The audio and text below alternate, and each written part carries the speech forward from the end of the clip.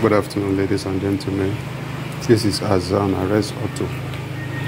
Today we are going to make a spare key for a 2012 Skoda Fabia. Currently, the person has the customer have a key. Uh, there's no remote, so I intend making a key a spare key and also configure the remote to work.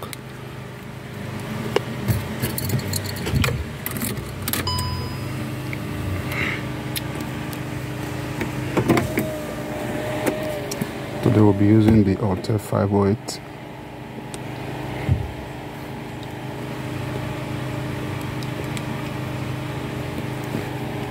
is actually Skoda was using Volkswagen because Volkswagen is a parent company. So instead of using Skoda, I was using Volkswagen. Maybe that was why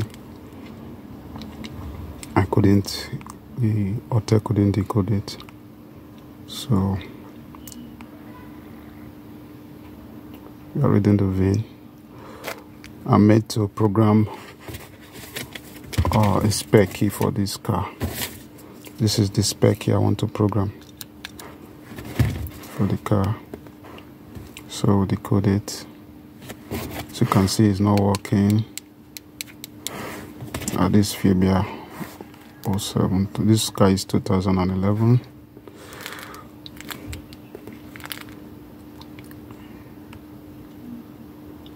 so let us do a status scan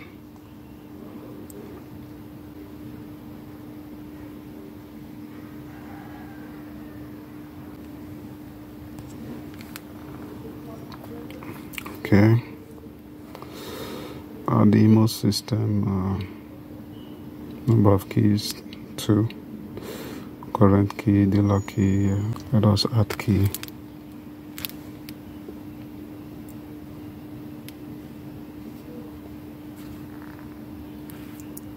Um, okay personal fault let us add key.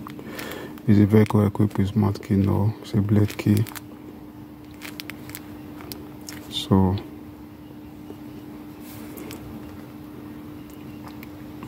read immobilizer immo data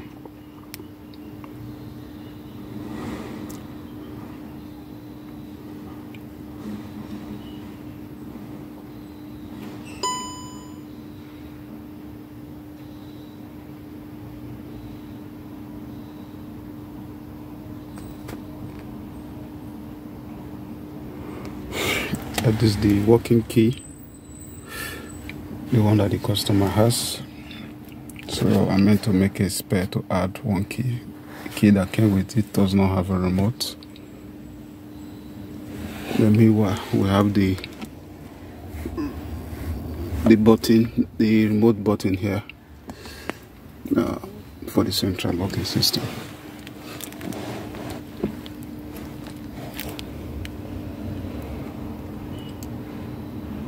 Just that's down. So I want to make dealer key. Yeah, I want to make the key.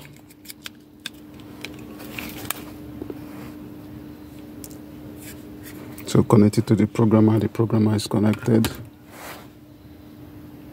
I'll place a blank key. A blank key is already there in the programmer.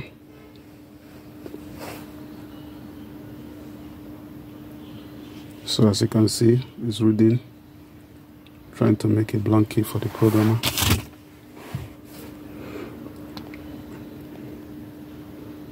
Communicating with the key.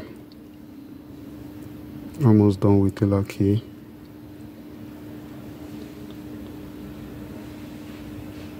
The key generated successfully.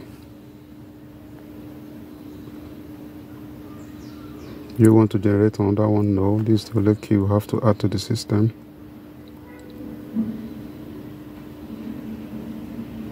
How many key want to learn? Just one.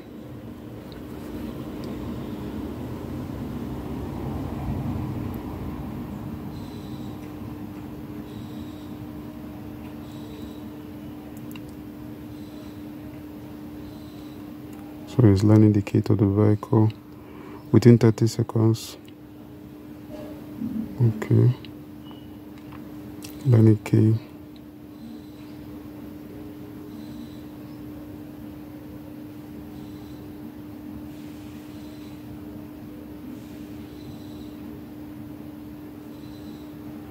Press any button.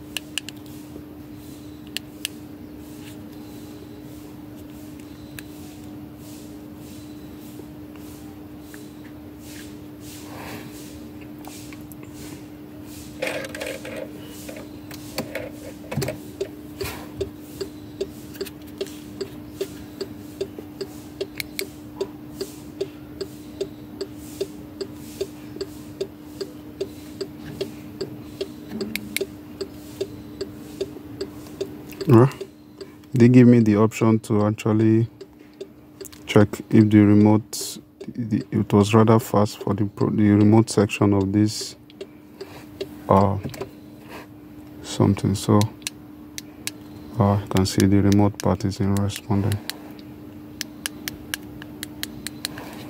Okay but I will check the learning aspect of it let's scan again and see how many keys is in the system.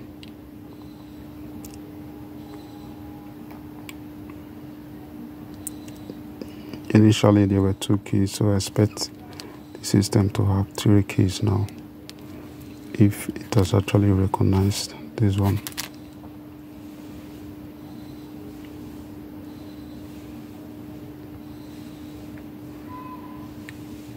Okay remote control system not available number of keys length one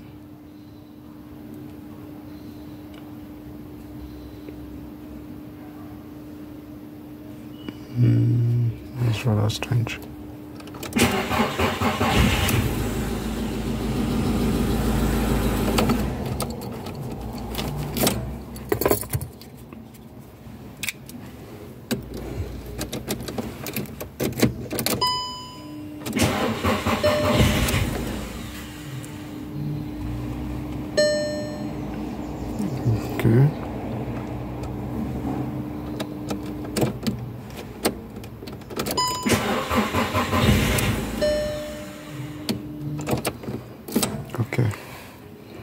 So obviously only this one can still start the car. Uh, this one did not start the car. So we only have one lane. So what could be the problem? So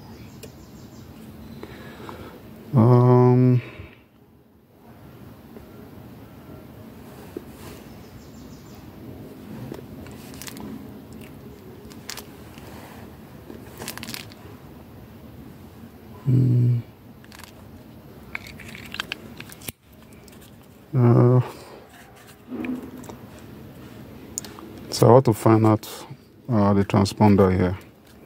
When I checked last time, it was 48, but I don't know. So I have to use my mini key tool to confirm.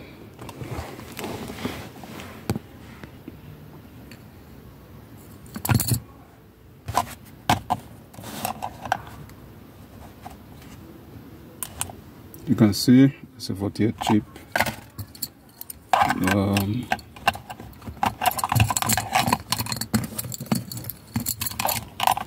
reading a key. So say 48 chip. So I want to confirm the type of 48 chip. This in, in here. And I have to do it using my phone, so I may not be able to record that part of this uh, process.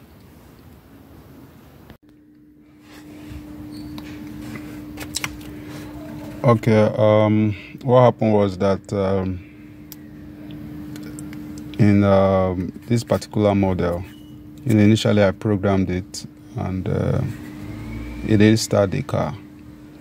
I think the, the, the, error was the mistake I made was that uh, I pick one key so he actually programmed this the original the owner's key and he didn't program this and in both cases you will actually need to insert the key in the ignition to have it programmed.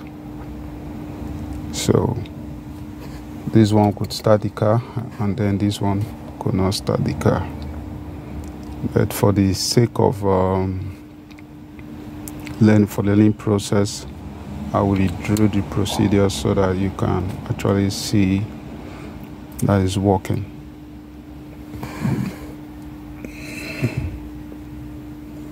um, okay this was earlier on so let's take that out.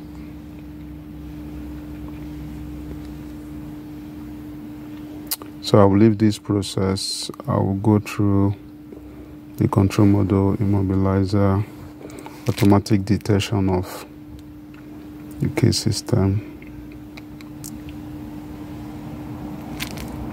and I'll just go to key learning uh, is here equipped with smart key? Nodes of course is blade key no. Establishing communication. Okay. Number of keys cs code. Well uh, what I did first of all I read the immo data. I read the immo data first. So the system will have the immo data in.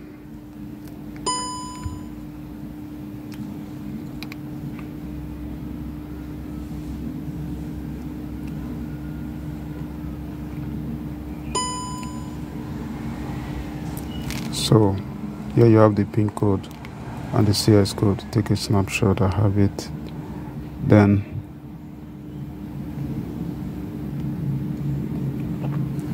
um, we go to learning now. Say no establish communication with the vehicle. It asks for number of keys. So rather than two one now I make it two keys. So that one for the customer and one for the one I'm going to add. So establishing communication is learning. He has learned the first key. So I'll take this out.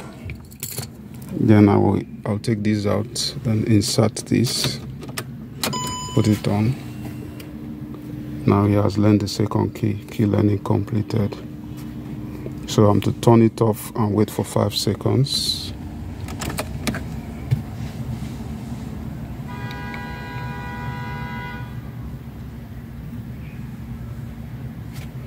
And to turn it on you can see there's no error message there. So we are done with the learning process. You can see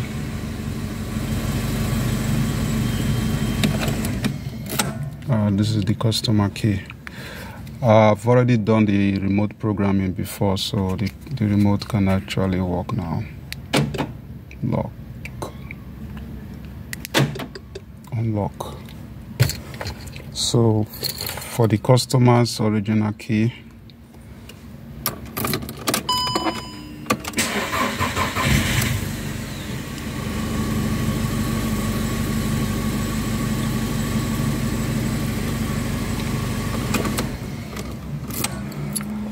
so for this particular car we are done and dusted.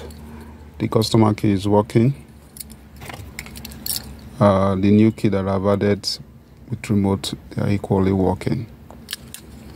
So like share and subscribe to Azar & Arez Auto for more technical information on key programming. Thank you for watching